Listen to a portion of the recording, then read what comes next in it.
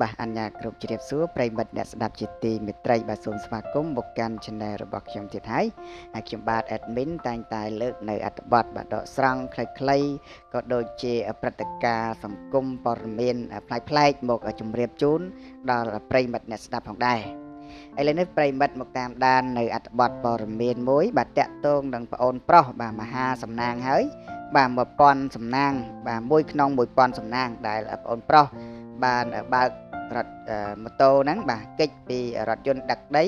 ទៅប៉ះបាទស្រីអូនដែលជាម្ចាស់ក្រុមហ៊ុនសម្រាប់ធម្មជាតិបាទបុកពេញដំហឹងប៉ុន្តែមិនអីអាយុថ្លៃណាកំអីហ្នឹងអឺឡានបុកតែម្ដងបាទពិតជាគួរឲ្យសោកស្ដាយបាទតែសំណាងល្អបាទរងរបួសតិចតួចហើយជាសំណាងនោះគឺប៉ះចំលោកស្រីជាមនុស្សល្អទៀត ដែលមិនយកតោះបៃហើយមិនមានទៀមទាសំណងនោះទេបាទដោយឡានរថយន្តទំនើបរបស់អ្នកនាងនឹងមានតម្លៃដល់ទៅ200,000ដុល្លារឯណោះបាទពិតជាថ្លៃណាបាទបើប៉ះចំគេមុំមុំគេឲ្យសងហ្នឹងជាប់បារោយបាទអញ្ចឹងយើងតាមដាននៅអត្ថបទនេះដូចតទៅបាទវ៉ាឡានដឹកដីវាក់នឹងរថយន្តស្រីអូនម្ចាស់ក្រុមហ៊ុនសម្រាប់ធម្មជាតិបុកពេញទំហឹង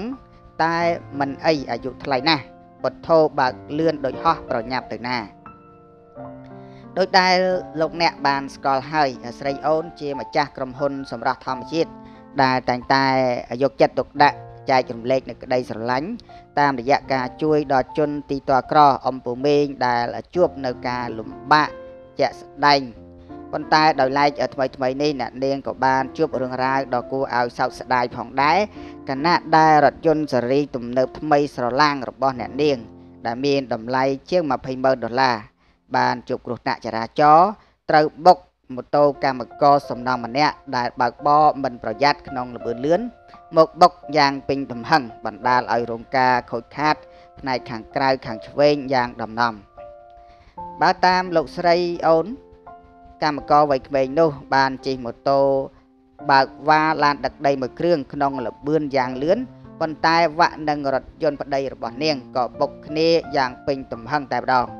លេបលេបនោះប្អូនប្រុសក៏បានដេកទៅនឹងកង់ឡានរបស់អ្នកនាងទៅហើយប៉ុន្តែសំណាង ដែលរថយន្តប្តីរបស់អ្នកនាងនឹងបើកលបឿនមធ្យមហើយក៏អាចចាប់ហ្វ្រាំងតាន់ពេលវេលាពុំនោះសោតមិនដឹងជាទៅយ៉ាងណានោះទេ បើទោះបីជារថយន្តរងការខូចខាតយ៉ាងណាតែអ្នកស្រីអូនពុំបានយកទៅបៃពីប្អូនប្រុសជាកម្មករសំណងនោះទេ ហើយថែមទាំងត្រេកអរជាខ្លាំងផងដែរដែលរូគេ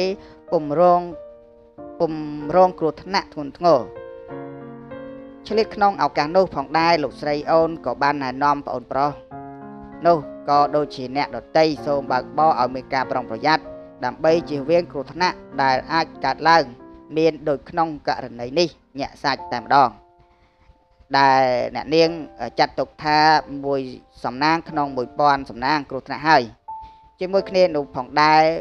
បងប្អូនអ្នកប្រើប្រាស់បណ្ដាញសង្គមក៏បានសម្ដែងនៅការកោតសរសើរចំពោះទឹកចិត្តស្រីអូនយ៉ាងខ្លាំងនិងថានេះចាត់ទុកជាសំណាងហើយ ដែលបុរសនេះប៉ះចំអ្នកចិត្តល្អចិត្តផ ដូចស្រីអូន ប្រសិនបើ ចំអ្នកដតីវិញមិនដឹងទៅជាយ៉ាងណានោះទេ បាទនេះគឺតកតងនឹងបុរសម្នាក់បាទជិះម៉ូតូបើកបរលឿនបាទវ៉ាឡានដឹកដីនឹងមិនដឹងថាវ៉ាយ៉ាងម៉េចក៏ជ្រុលទៅបុកប៉ះរថយន្តសេរីទំនើបរបស់ស្រីអូនដែលជាថៅកែអឺក្រុមហ៊ុនសម្រាប់ធម្មជាតិបាទ